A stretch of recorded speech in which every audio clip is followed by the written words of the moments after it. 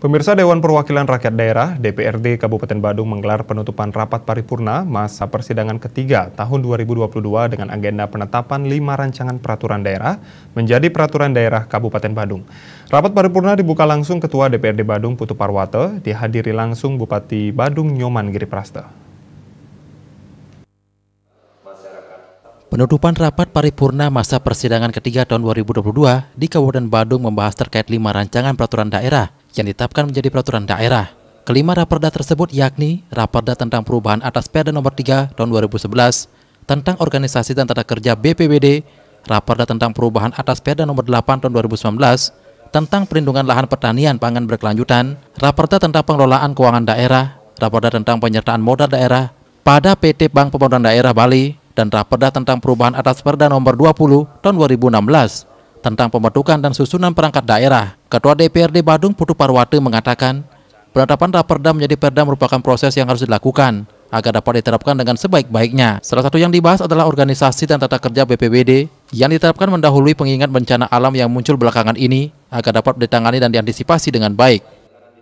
Kenapa hari ini kita tetapkan supaya proses daripada uh, peraturan itu dapat kita laksanakan dengan sebaik-baiknya karena ini adalah menyangkut soal penganggaran.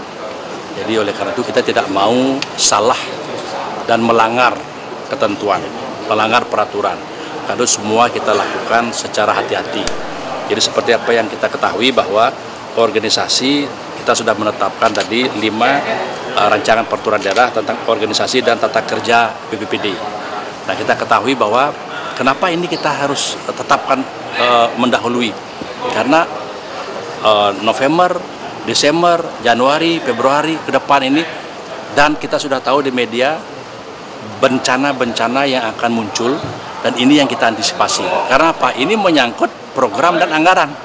Terkait organisasi dan tata kerja BPBD, Bupati Badung Nyoman Giri Praste mengatakan BPBD dapat merekomendasi hal-hal yang berkaitan dengan bencana yang muncul, baik bencana alam maupun bencana yang diakibatkan oleh manusia.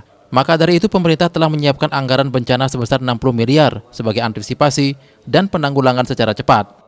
Jadi begini, nanti akan ada sebuah kekuatan yang kita yang kita lakukan sehingga kami tinggal uh, eh, BPBD merekomendasi uh, terhadap misalkan contoh terjadi persoalan bencana. Bencana itu ada dua, yang disebut dengan uh, bencana, bencana yang dikibatkan oleh alam dan bencana yang dikibatkan oleh manusia. Contoh alam misalkan puting beliung, banjir bandang, tsunami, gunung meletus, erupsi dan seterusnya. Kalau bencana yang dikibatkan oleh manusia adalah ketika misalkan terjadi demo, jadi kerusuhan dan lain sebagainya.